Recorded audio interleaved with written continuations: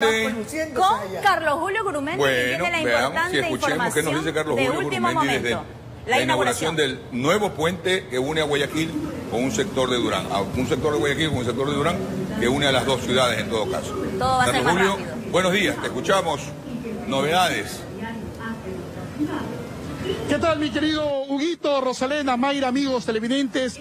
Muy buenos días, así es. Hoy lunes, hoy lunes, hace pocos minutos, el alcalde de Daule, Wilson Cañizares, la alcaldesa de Guayaquil, Cintia Viteri, con la presencia del ex alcalde de la urbe porteña, Jaime Nebot, cortaron una cinta en este punto, en este punto que une al puente, al nuevo puente de Daule, Guayaquil.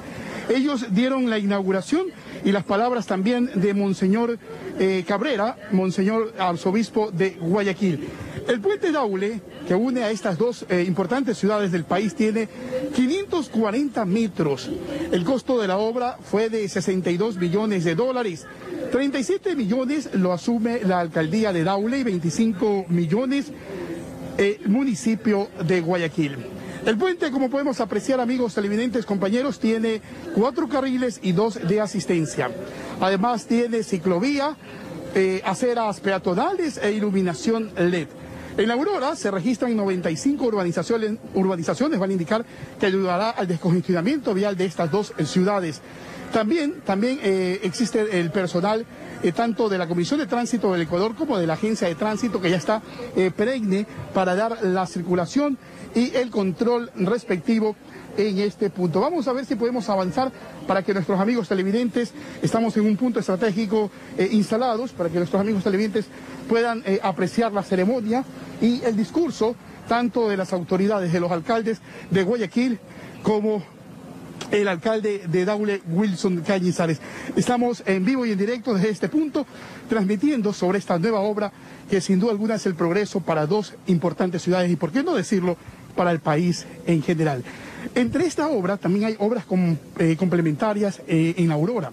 Por ejemplo, es el asfalto de las calles que circula en la vía, la, en la urbanización en La Joya y Villa Cruz. La construcción de dos pasos peatonales con acceso uno en Villa Cruz y la otra en la cabecera parroquial de La Aurora.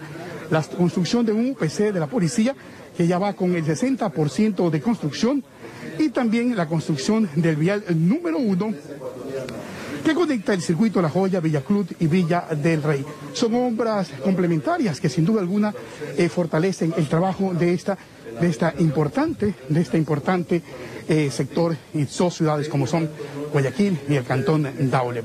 Estamos en estos momentos en vivo y en directo en la ceremonia donde repetimos está el, el exalcalde Jaime Penebosa Adi, el alcalde de Daule Wilson Cañizares y la alcaldesa Cintia Viteri, dando en estos momentos las explicaciones sobre esta obra que sin duda alguna, repetimos, fue inaugurado ya eh, hace pocos minutos y une a estas dos avenidas importantes, la Narcisa de Jesús con la León Febres Cordero en Daule. La sección transversal del puente incluye cuatro carriles de Bien, compañeros, vamos a permanecer nosotros en este punto, eh, dando, esperando las declaraciones de ambos alcaldes para, sin duda, eh, dar la, la apertura en general de este puente, de este nuevo, de este nuevo puente que une a las dos ciudades. Cartele- carteles eh, apoyando a, a la gestión, a la gestión de estos alcaldes, tanto de Guayaquil como de Daule.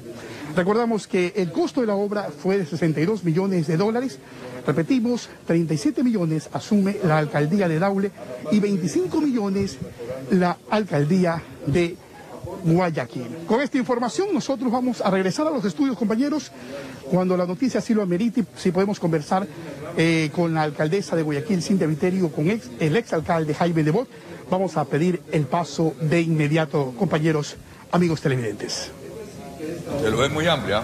Sí, Muy una Bueno, excelente es muy, obra Muy, para muy, Guayaquil muy, muy, re- muy, recontra, muy útil. Por y necesario. Necesario. Esa zona donde de desemboca en Daule, sobre todo, es una zona hiperconflictiva en la avenida León Febres Cordero. Sí. Ajá.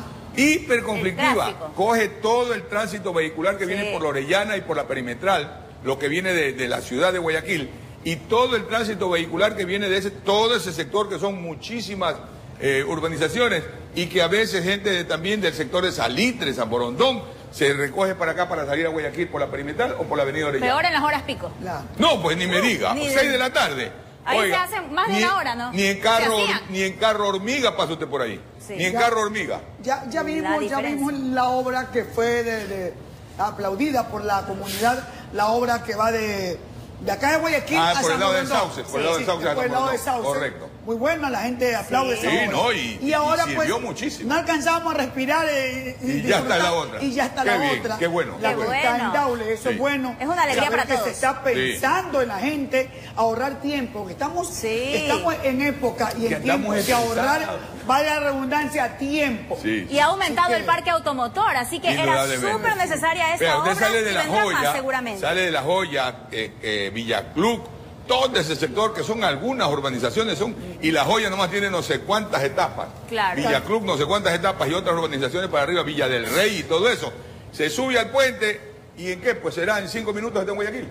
Así De lo que antes era 40, 45 Con minutos. una hora, Roselena, y Hasta dependiendo del tráfico, tráfico, una hora por y media. Bueno.